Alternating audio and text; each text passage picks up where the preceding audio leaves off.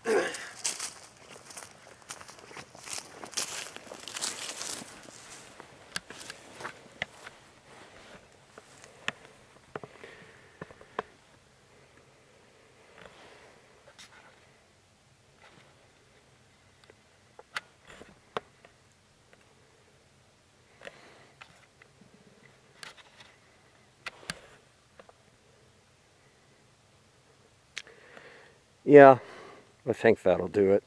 50 caliber Hawken, folks. See you in 2012.